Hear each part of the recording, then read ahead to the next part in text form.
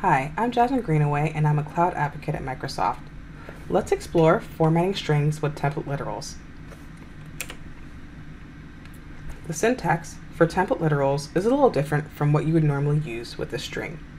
You enclose all your text in backtick characters and you use placeholders to insert your variables and expressions. There are many ways to format a string. So let's compare another method versus template literals.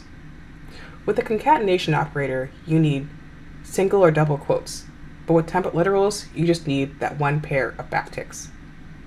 With line breaks, template literals are going to respect them, but you're going to have to add them yourself with concatenation.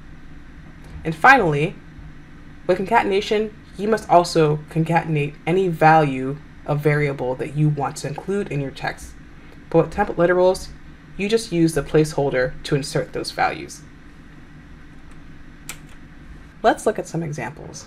In this first example, I have two string variables that I want to insert into two sentences. All I have to do is reference them by name and insert them into the placeholders to complete the sentences. In this example, we're using some expressions.